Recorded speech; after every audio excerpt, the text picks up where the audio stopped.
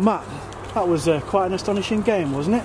It was. It was. It was tough to watch at times, but also so pleasing to come out on top. Um, a real good game of football in terms of the, the attacking football on show. I've got to question some of the, the defensive side of it. Um, we scored three really good goals, and you, you score three really good goals away from home, you expect it to be a bit more comfortable than it was.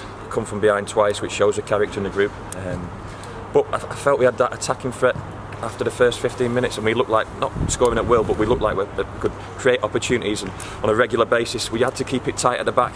So disappointing just to concede after, straight after half time. It really was disappointing, having given them a little bit about the, the, the, amount of chances all of them got in the first half. But then, like I said, the, the guts and the character, and for the last half an hour, we were a better team. Um, still some questionable penalty appeals from the opposition, which you know I've spoken in the past about. We've not had too much luck recently, and we had a bit of luck last weekend, and maybe it's just started to turn in our favour.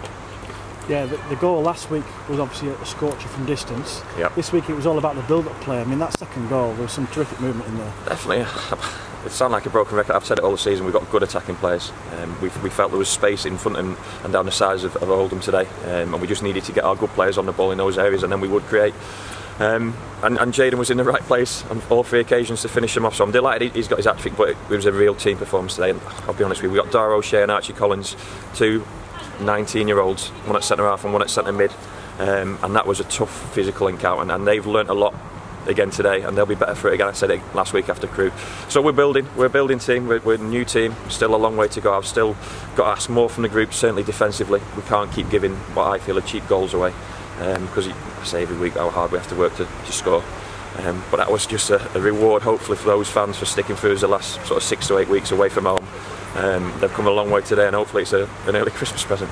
In terms of the tactics today, set off what looked like a, a 4-4-2, but then you well, like you changed it a couple of times as well. Yeah, we were under severe pressure to start with, um, and we went 1 0 down early, and I didn't want to go 2 0 down in that first half. Um, so we just put Lee on the left and almost blocked an extra body in midfield to, to get bodies closer to our centre halves and our fullbacks were having a, a, difficult time, certainly in that first half. Full credit to Oldham, and they got some good players. The Surridge looked a real handful in that game today. Um, so we did that to start with, and then you, you put new plans in place at half time, and then you concede straight away. So it's you got to change again, and I felt we altered it pretty well. We got Holmesy in space, um, not so much in wide areas, but also central today, and he really hurt the opposition. And look, Chio's pace at the end also gave us an outlet.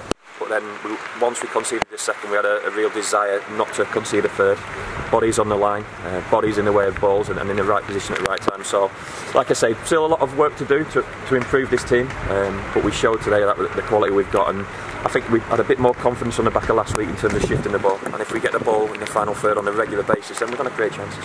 You feel that's now a, a, a corner turned, perhaps from a little blip you've had? Possibly. Football changes so quickly. You know, even in the, in the run of results we had, we felt on a couple of occasions we were close to picking up maximum points. You go on a, a run at any stage of the season and you all of a sudden you bounce up the league table. We didn't we didn't look too much into the, the, the poor run of forms. We were affected by injuries and illness at times, and, and also form plays a part. And I said last week how the, the, the win against Crewe was almost a confidence booster like I say, we, on a difficult pitch and difficult conditions, again, we play some excellent football, and we, have got that in our in our locker, sort of, say, sort of say. Um, but I still wanted the def defensive side of things to be tighter. I'm an old school centre half at, at heart, so I want clean sheets. I know if we're going to be successful, we've got to build our performances on clean sheets. But credit to Oldham, they, they asked us to today, and um, look, I'm just delighted to come away with three points. And finally, from me, I have to ask you this because with Jayden scoring a hat trick today, yeah, that's obviously going to get noticed. Yeah, yeah, and look, his hat trick was a reward for his, his, work rate again. He led the line so well. Um, at times, he, there was not many of our players close to him. He held the ball up. He won a lot of aerial challenges against two good, experienced centre halves. Certainly, the lad Clarke's played a lot of football, and he's a handful. We got more quality into him, and we, like I said, if we build a bit more possession in the final third, it, it might result in a cross. And there's no one better in, in lower league football than Jayden at putting crosses in. And he showed that today.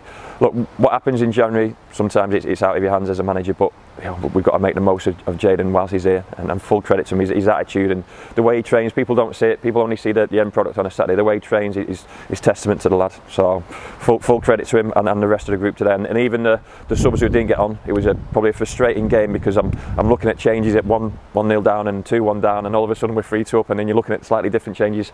I will need those players in the next three weeks, and we'll need them for the next six months without a shadow of a doubt. We've got three tough fixtures coming up with, with two home games, but we go on the back of two, two good victories, and hopefully, like a bit of confidence, a bit more belief, and like I say, I'm going to keep improving the quality as best I can.